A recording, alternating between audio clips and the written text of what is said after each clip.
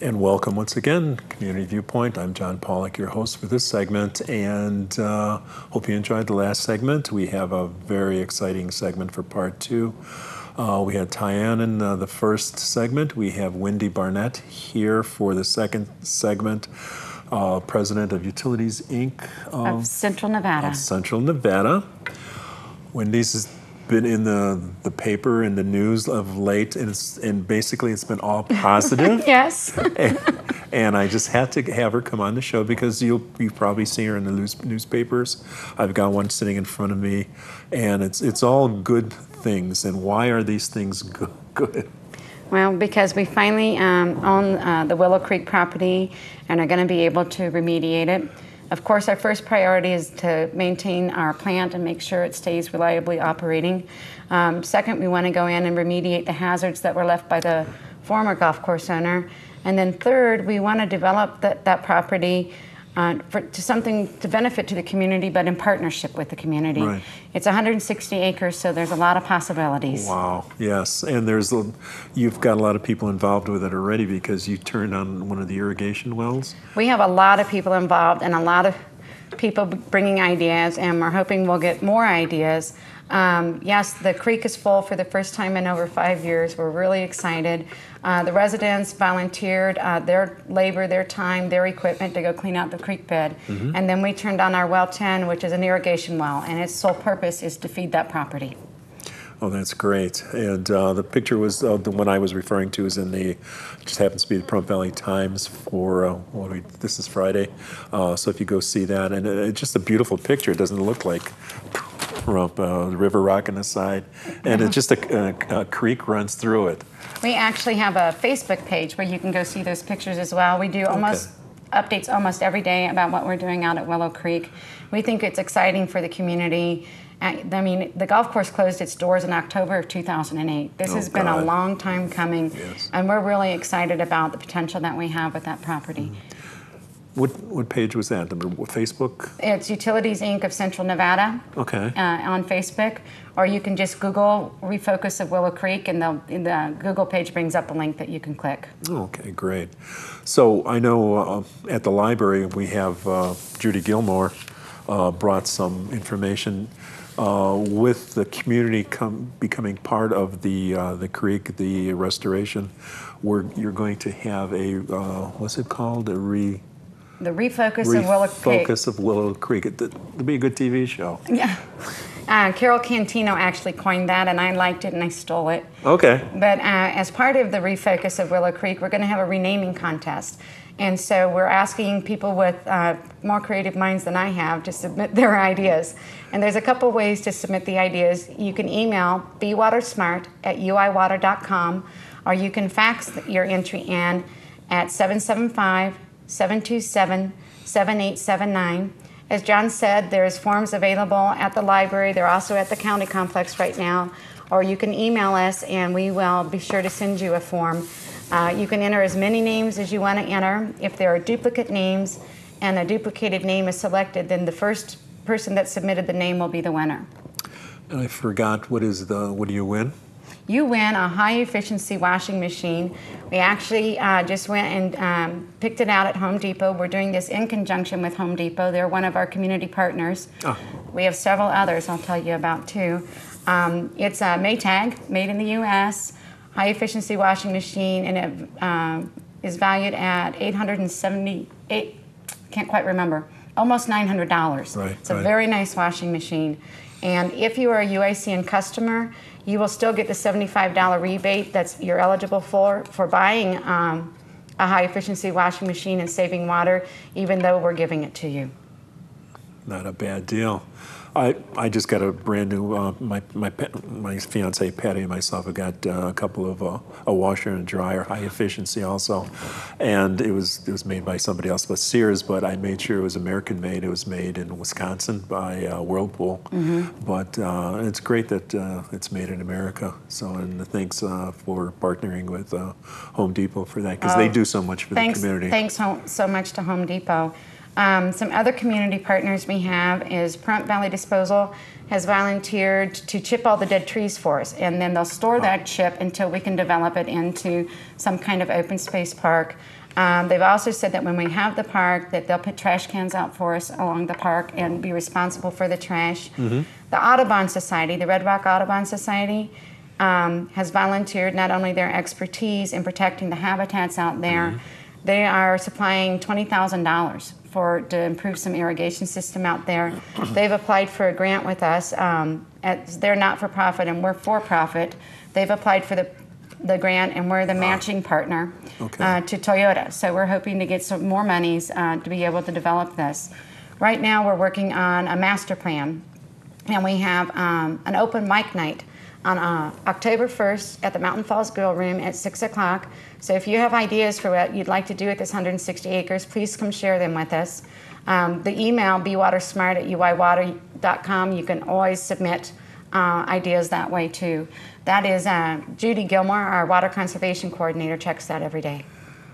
Oh, great. I know she's working with Donna Lamb from uh, Southern County, Southern County Conservation District to talk about water with, with the schools and stuff. You're doing so much uh, good to, to educate everybody, and this is going to be an education uh, in progress also. That the, the whole idea we have behind this land, at least a portion of it, is to create an education park and show different kinds of water uses. We don't want to tell people how they want to how to use the water, but we're hoping that we'll educate them on how the, they can use water wisely. So that if you want to have a lawn, there's a difference in the grasses that you plant and the water consumption. Uh, if you'd like to do something a little more creative like Xeriscape and see how beautiful that is and do a demonstration garden. But along with educating about water, you would also see the different kinds of flora, fauna, birds that you would see in these different water environs. So that's kind of the concept about uh, behind it. And the Red Rock Audubon Society has um, joined it with us. We've entered into a memorandum of understanding to make this education park happen. Um, other people have, there's lots of ideas out there, you know, from a little frontier to uh, frisbee golf to uh, bandstand to airplanes. There's lots and lots of ideas out there, and so we're also looking for partners in the community uh, to help us develop this master plan to sort through all the ideas because there's a lot out there. And so, what what is really the benefit to the community? What do we want to do with this 160 acres? So we're, I'm excited. It, this has been such a long time coming, John. Yeah, I know it's it's it was getting really stale, like like the area was, and now it, it's it's coming back to life. It's coming back to life, and it, it's it's just truly exciting. You had mentioned Judy Gilmore and mm-hmm. all the work that she does to educate people, and I just want to give her some kudos. Utilities Inc. of Central Nevada won the Nevada Rural Water Association um, annual award for our efforts in water uh, conservation education, and that's due to Judy's hard work. Yes. So we thank you, Judy, and uh, my own uh, counterpart, Donna Lamb, with the uh, Southern County Conservation District. It is really nice to be working with Nye County. Yes. Really nice. I think the more people that we can do to educate on water conservation and how to use water wisely, the better. Um, Donna's awesome. Yes. So it, it's the education. You don't want to be water Nazis or anything, but you want to tell the people what's the, the best way to uh, to use the, the limited amount of water that we have, because without water, we cannot survive. That's right. And we just want to give them the information so that they can make their own decisions wisely. I think everyone's aware that um, Basin 162, also known as the Pahrump Basin, is highly um, over appropriated. Um, there's a lot more water right than there is water. And the better we protect um, our, our resource, the better off we'll be in the long run. So uh, you're educating us, and then we could take that and um, go to well, while we still have the town board, town board meetings, and then also commissioner meetings, and and make our stance uh, heard about the water conservation when they make uh, decisions, or for the water board also uh, go there and have an informed uh, uh, thought process of uh, what we're talking about. Absolutely. We live in the desert, and even places that aren't desert, water is becoming scarcer and scarcer. And some of the solutions, such as desalinization, are incredibly expensive. I think using water wisely is a wise decision. So, So um, this is yeah, like you know, we've been talking about. It's very exciting. It's a long time in coming. I saw it when it was nice and green when I first came into town, like '99, and uh, then it would just it was barren, and it just it was such a shame. it is a shame. And we've already lost a lot of the trees. Yeah, I the- think the last count was 147. Right, and then they'll be taken out and uh, brought over to uh, John What- Shea over at uh, the Pahrump Valley Disposal. They'll chip them up. Yes, absolutely. The, um, the process is, uh, we have approval from the Public Utilities Commission for our project to remediate. And we have approval from the Nevada Division of Environmental Protection. Uh, right now, there's some Nye County approvals pending. And so for people, and we get calls, you know, this tree is dead, it's gonna fall, you know, what are you, what are you gonna do about it? Well, we have to get permits and part of that permitting process. Um, but it will be to, re- to remediate the, the dead trees. And when we go to decide what trees we're going to take down, we're going to do that in partnership uh, with Chief Scott and with the Scott Audubon, Lewis, yeah, yeah. Scott Lewis, Yes. and the Audubon Society because we want to make sure that we're getting rid of the fire hazards out there that Scott's concerned about. And then we also want to make sure that we don't destroy a habitat. Right, so you're going to keep some dead trees up there. I, Richard and I were at a meeting at the Southern County Conservation District the other day. We'll keep some dead trees up there for the habitat. Right.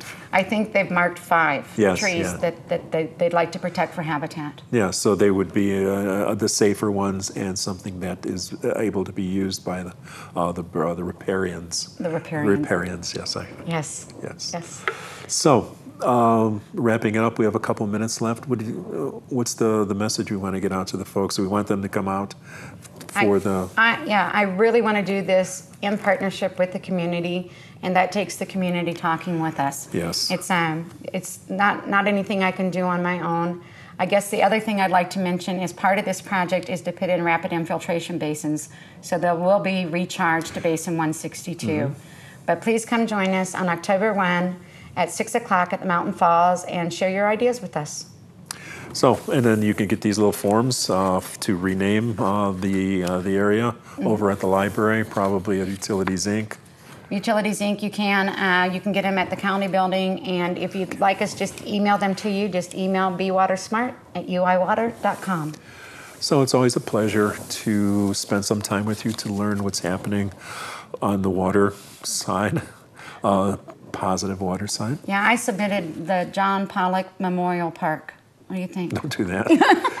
Uh, That'll go next to the Charlie Grand uh, Memorial Airport too. So don't don't do that to me, please.